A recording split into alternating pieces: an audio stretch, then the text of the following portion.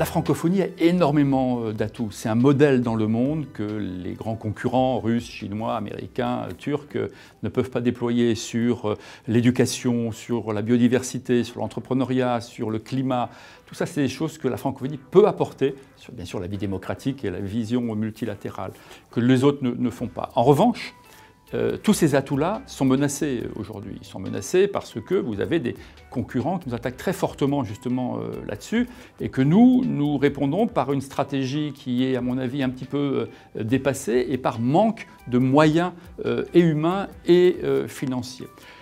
Aujourd'hui, les grands enjeux pour moi pour répondre et repartir de, l'avant, c'est répondre euh, aux besoins et aux attentes des jeunes populations, notamment africaines, puisqu'on sait qu'en 2100, il y aura 2 milliards et demi d'Africains, sauf catastrophe bien sûr. Donc c'est vers là qu'il faut mettre l'attention. Ce sera bien sûr le principal bassin d'expression du français dans le monde.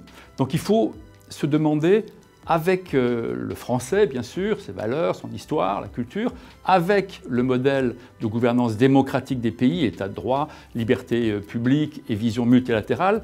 Euh, mais ce n'est pas ça aujourd'hui qui va faire qu'un jeune à Phnom Penh, à Dakar ou, à Québec va se lever le matin en se disant il faut absolument que j'apprenne le, français. C'est parce qu'on va répondre à ces attentes de deux ordres. D'abord, bien sûr, immédiatement, c'est un emploi, une formation professionnelle et entrepreneuriat et, emploi. Voilà ce qu'il faut apporter quand on est dans l'univers francophone. Et puis ensuite, le modèle de société dans lequel on veut vivre. Euh, tout le monde, même les soutiens des Russes en Afrique, veulent pouvoir s'exprimer librement dans un pays, ne veulent pas être contraints. Donc euh, c'est ça qu'il faut pousser, à liberté d'expression. Il faut également répondre aux besoins d'aujourd'hui et de demain, c'est-à-dire sur le climat, sur les déchets, euh, sur la parité euh, homme-femme. Il faut répondre à des questions très pointues auxquelles on peut apporter de la valeur.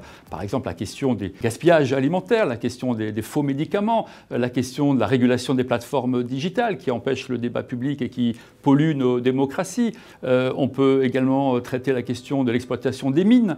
Est-ce qu'il n'y a pas une façon francophone d'exploiter les mines de façon durable et pas comme euh, les Chinois le font. Enfin, des tas de sujets sur lesquels la francophonie peut apporter des réponses plus légitimes, puisque c'est notre modèle, que nos concurrents. Et ça, pour l'instant, on ne le fait pas suffisamment. Donc, il faut identifier les sujets et puis, bien sûr, les déployer euh, par les États, par les sociétés civiles, par les parlementaires qui peuvent euh, légiférer, donc par toutes les institutions et tous les corps constitués qui doivent pousser dans le même sens. Une approche qui est complètement structurante euh, de tout ce qui peut constituer l'espace francophone, c'est la question de la mobilité. Il ne peut pas y avoir d'espace francophone vivant, actif, euh, contributif, solidaire, s'il n'y a pas euh, des règles de mobilité très précises et favorables. Il ne s'agit pas d'avoir une libre circulation, mais d'avoir des règles précises. Il y a beaucoup trop d'entraves, d'abord qui découragent euh, les jeunes et les moins jeunes euh, francophones qui ne peuvent pas se déplacer librement, qui souvent sont très fortement entravés, donc euh, ils en gardent beaucoup d'amertume. et puis d'autres pays, les concurrents, qui favorisent cette mobilité. Donc on doit, de façon très immédiate, très structurante, fixer des règles de mobilité vraies dans tout l'espace francophone pour un grand nombre de populations.